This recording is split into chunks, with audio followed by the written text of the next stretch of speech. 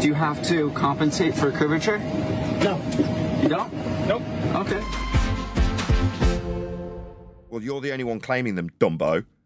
But yet we don't notice we couldn't tell either way. Yeah, as soon as you show them that there is no 15 degrees an hour drift, they'll start justifying why there isn't. It's like, you're not supposed to be justifying why we don't notice. You're supposed to be showing me 15 degrees an hour drift. To prove we spin? Well, you just couldn't notice either way.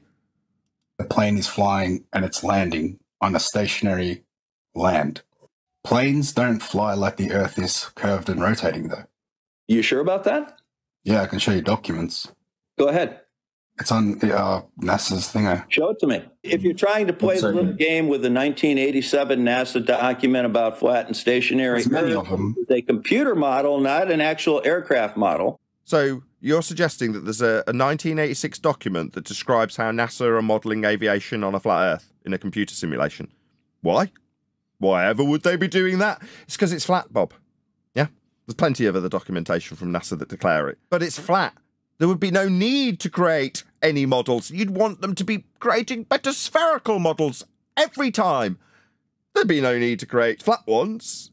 Yeah, but what they're actually doing is modelling the world as it actually exists, flat. Yeah, by freedom of information, we found that out in the recent history that of flat Earth. Yeah, we found out that NASA deal with it flat too. That's correct. The latitude system used is flat, Bob. That's what NASA use also on the Mercator projection.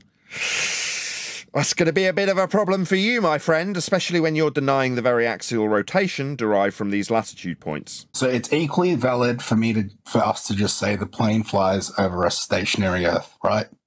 No. You kind of He's not going to concede that until you point out that by relinquishing it, he's saying there's no drift. Until you say, okay, I don't notice any effects, therefore it's just as reasonable to say flat Earth gives you the same effects as a moving Earth according to your demonstrations that don't have drift. No 15 degrees an hour proving we spin then. Well, that's a big problem for you because uh, you need 15 degrees an hour drift to prove we spin. But saying that there isn't any effects to notice and therefore, oh, well, you can't just say it's not spinning. Well, we haven't got your 15 degrees an hour drift to prove it is. But it's okay and cool to just still say it's spinning even though we don't notice anything. Well, you'd need that 15 degrees an hour drift as per your Globe Bible that says we've got a 15 degrees an hour drift called Coriolis effect. It seems you've worked very hard to deny that fact because it doesn't happen.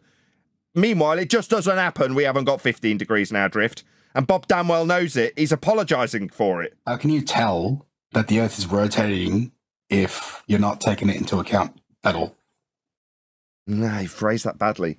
How can you tell Earth's turning when you claim there is 15 degrees an hour drift and you've just spent the last 10 minutes denying it? You do take it into account.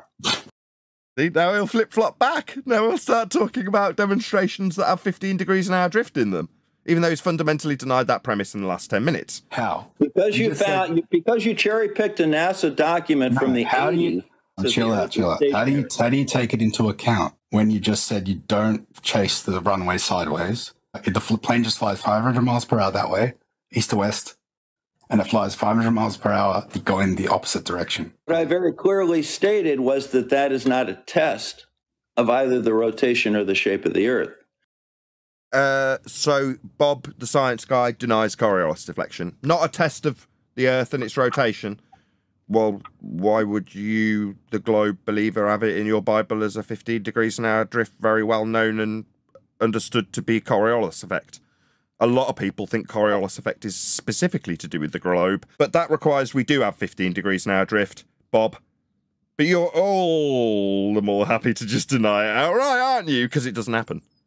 Although Yeah, landing a plane on into account. instrument landing does require does require uh, taking the radius of the Earth into account because that's the way the instrument Rotation. a total non sequitur and baseless assertion that he's going to drop into flap. Chaff, so the guy can chase it. approach is designed. Rotation. So when it comes to the flight of descent, do you have to compensate for curvature? No. You don't? Nope. Okay. Um, so whenever you land I mean, that's one way to deal with this red herring.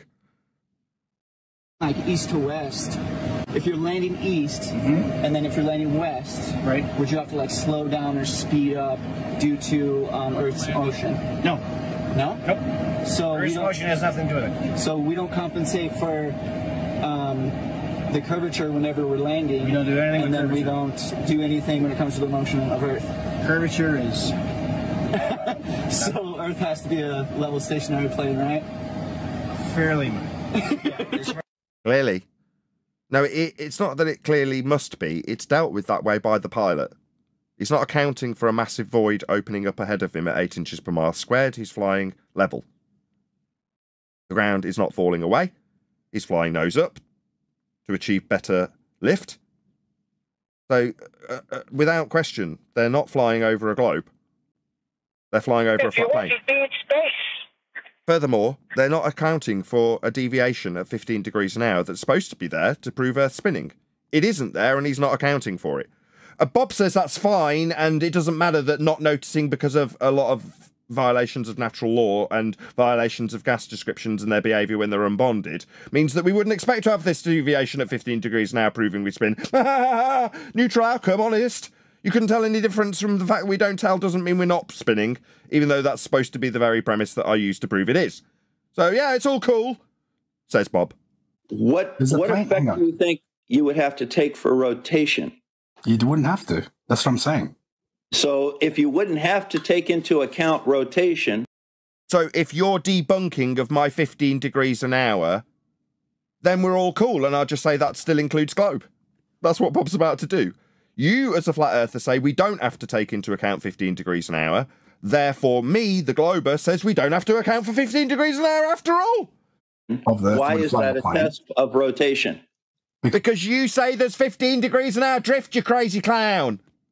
Wh- Why are you asking the flat earther why your standard of having 15 degrees an hour drift and it not being there would be a standard to prove that we spin? It's your claim that fails miserably and we're not noticing any effects of. And you're justifying why we don't have any effects of it. And desperately telling him how we wouldn't have a plane, have Earth turn underneath it. So we wouldn't have a plane proving that we can see 15 degrees of deviation from the ground, like the globe claims proves we spin with. right, why would we do that, Bob? We wouldn't, you stupid man. You do, it just fails. Because it doesn't, it, it, it's equally, as I'm saying, it's equally as valid for me to just say the Earth is not rotating. End of story. It doesn't take it into account. It's also equally valid to say this isn't a test of rotation, so So having a claim that we've got 15 degrees an hour drift as a test of rotation would just be me completely and fundamentally undermining the globe's claim, right, Bob? Well done, you stupid man. So it wouldn't be a test of globe rotation then, the 15 degrees an hour drift as Earth turns underneath to exhibit Coriolis effect exactly as the globe claims. Not a reasonable test, says Bob. yeah, they'll bash their own heads in with shovels if you give them half enough chance. Right, Bob?